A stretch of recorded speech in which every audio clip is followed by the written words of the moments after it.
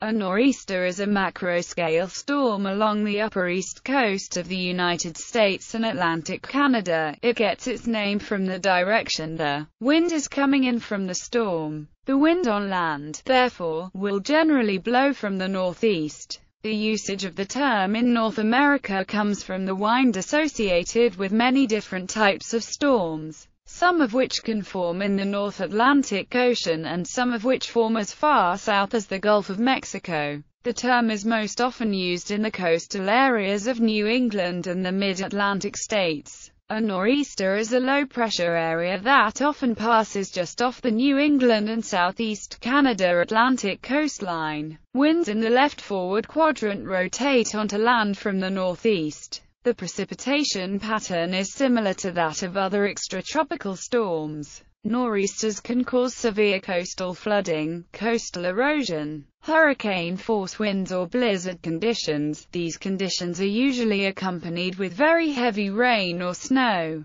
depending on when the storm occurs. Nor'easters thrive on the converging air masses, that is, the polar cold air mass and the warmer oceanic air over the Gulf Stream. Etymology and usage The term nor'easter came to American English by way of British English. According to the Oxford English Dictionary, the first recorded use in the English language of the term nor, in association with the points of the compass and wind direction was by Dekker in 1612. How blows the wind a seer wind is nor nor west. However, this is incorrect, as John Lyly uses the term the same way in his play of 1585, Galathea. Similar uses occurred in 1688 and in 1718 these recorded uses are predated by use of the term, nor'east, first recorded as used by Davis in 1594 and shown, for instance, on a compass card published in 1607.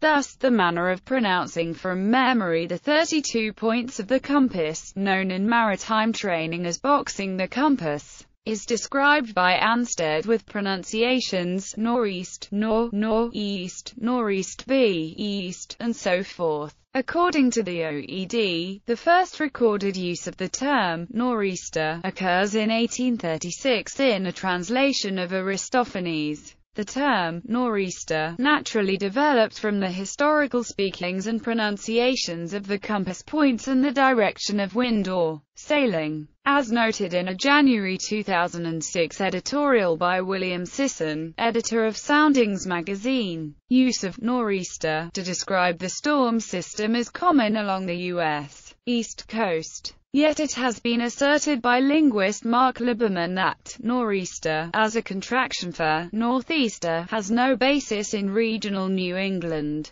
dialect. The Boston accent would elide the r, northeaster. He describes nor'easter as a fake word. However, this view neglects the little-known etymology and the historical maritime usage described above. 19th-century Downeast mariners pronounced the compass point north-northeast as no northeast, and so on. For decades, Edgar Comey, of Brunswick, Maine, waged a determined battle against use of the term nor'easter by the press, which usage he considered a pretentious and altogether lamentable affectation, and the odious, even loathsome, practice of landlubbers who would be seen as salty as the sea itself. His efforts, which included mailing hundreds of postcards, were profiled, just before his death at the age of 88, in The New Yorker. Despite the efforts of Comey and others, use of the term continues by the press. According to Boston Globe writer Jan Freeman, from 1975 to 1980, Journalists used the nor'easter spelling only once in five mentions of such storms in the past year. More than 80% of northeasters were spelled nor'easter. University of Pennsylvania linguistics professor Mark Liberman has pointed out that while the OED cites examples dating back to 1837, these examples represent the contributions of a handful of non-New England poets and writers.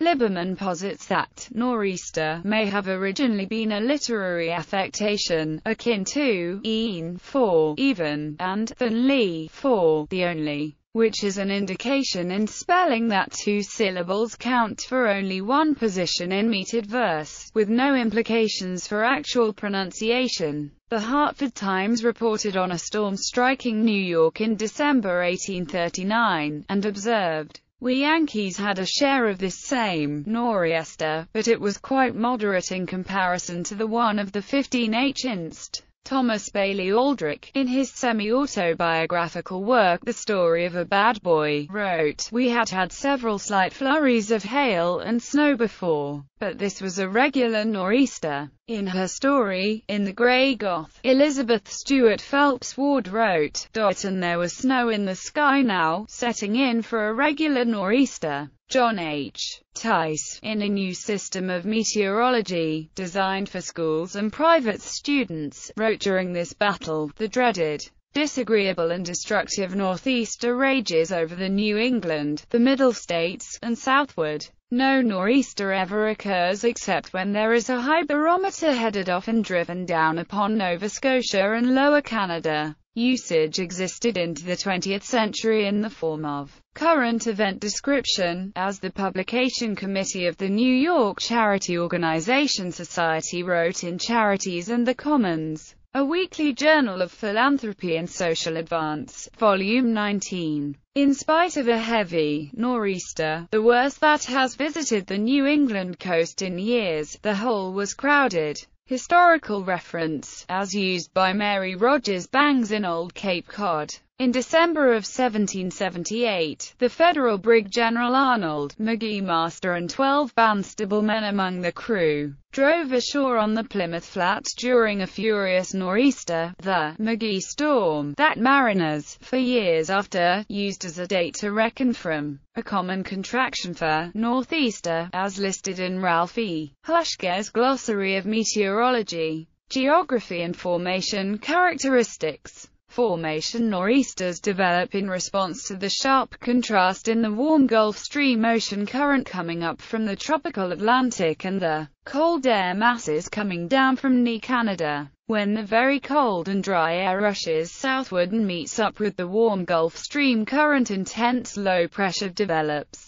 The divergence or diffluence in the upper atmosphere caused by the jet stream removes and disperses the rising air at a faster rate than it is replaced at the surface, which, along with the Coriolis force, creates and develops a storm. Their northeast track brings them up along the east coast past the Carolinas, Mid-Atlantic, and New England coastal states. The counterclockwise flow around a low-pressure system brings the warm, moist oceanic air overland. The warm, moist air meets cold air carried southward by the trough. The low enhances the surrounding pressure gradient, which acts to spiral the very different air masses toward each other at an even faster rate. The greater the temperature differences between the two air masses the greater the turbulence and instability, and the more severe the storm can become. The nor'easters taking the east coast track usually indicates the presence of a high-pressure area in the vicinity of Nova Scotia. Sometimes a nor'easter will move slightly inland and bring rain to the cities on the coastal plain and snow up in New England. It can move slightly offshore, bringing a wet snow to cities below Boston all the way down to Richmond, Virginia or even parts of the Carolinas. Such a storm will rapidly intensify, tracking northward and following the topography of the east coast, sometimes continuing to grow stronger during its entire existence. A nor'easter usually reaches its peak intensity while off the Canadian coast. The storm then reaches Arctic areas, and can reach intensities equal to that of a weak hurricane. It then meanders throughout the North Atlantic and can last for several weeks. Characteristics nor'easters are usually formed by an area of vorticity associated with an upper-level disturbance, or from a kink in a frontal surface that causes a surface low-pressure area to develop. Such storms are very often formed from the merging of several weaker storms, a parent storm, and a polar jet stream mixing with the tropical jet stream. Until the nor'easter passes, thick, dark, low-level clouds often block out the sun. Temperatures usually fall significantly due to the presence of the cooler air from winds that typically come from a northeasterly direction.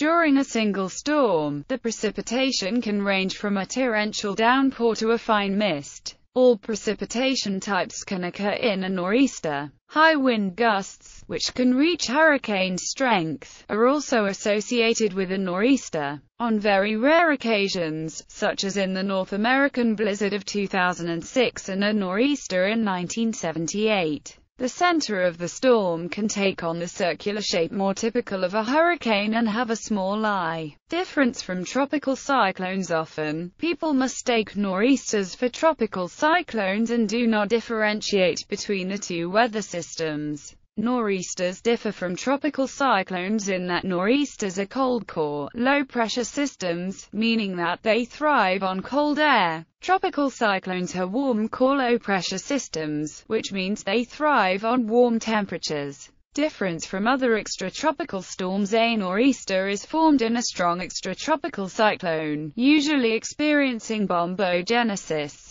While this formation occurs in many places around the world, nor'easters are unique for their combination of northeast winds and moisture content of the swirling clouds. Nearly similar conditions sometimes occur during winter in the Pacific Northeast with winds from NWN. In Europe, Similar weather systems with such severity are hardly possible. The moisture content of the clouds is usually not high enough to cause flooding or heavy snow, though knee winds can be strong. Geography The eastern United States, from North Carolina to Maine, and eastern Canada can experience nor'easters, though most often they affect the areas from New Jersey northward. The effects of a nor'easter sometimes bring high tides and strong winds as far south as coastal South Carolina and Georgia. Surfers wait in anticipation when a nor'easter is formed. Nor'easters cause a significant amount of beach erosion in these areas, as well as flooding in the associated low-lying areas.